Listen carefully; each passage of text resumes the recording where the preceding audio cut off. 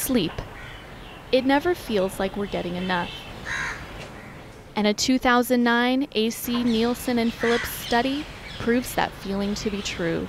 The study found that a remarkable 93% of Indians are not sleeping enough, making India one of the most sleep deprived countries in the world. The basic thing about the functions of sleep, or what sleep really does, people are still trying to figure out and we but we do know from experience that if you do not sleep well day, what is the day like and that everybody has experienced Sleep specialist Dr. Manvir Bhatia runs a sleep center in Hauz Khas Enclave. Patients come to her clinic to help pinpoint the cause of their restless nights, which can cause serious health problems if left untreated. It could be physical health, it could be mental health.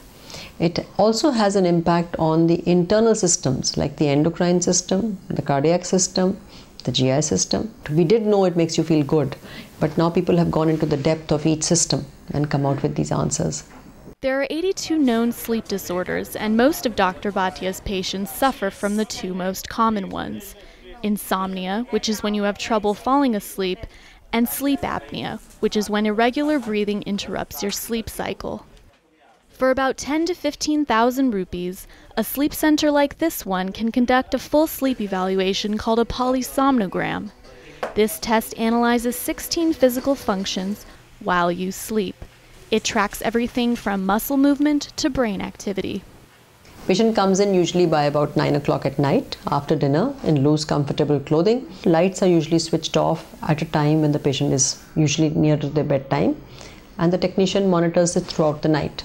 This type of test is considered the most accurate, and after a full night's rest, Dr. Bhatia evaluates the results. So this is what a normal kind of a graph looks like, that the sleep is pretty good, homogeneous, the breathing is regular, oxygen is about 98, 97, which is the normal scenario.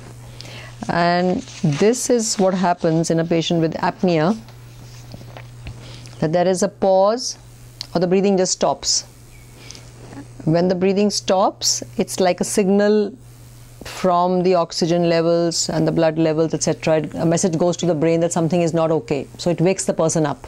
And it happens repetitively at night. It's not a one time phenomenon. So maybe in two minutes, it'll happen about one, two, three, four, five times.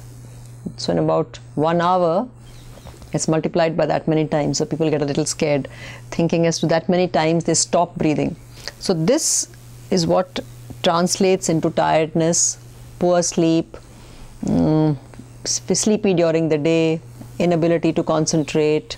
In addition, the oxygen levels drop, and every time that this happens, it pushes up the blood pressure, pushes the blood sugar, and changes lining of the arteries. So, what does Dr. Bhatia recommend for a good night's sleep? Decrease stimulation towards the end of the day start relaxing the mind or the brain towards the end of the day, fix wake times and fix bed times.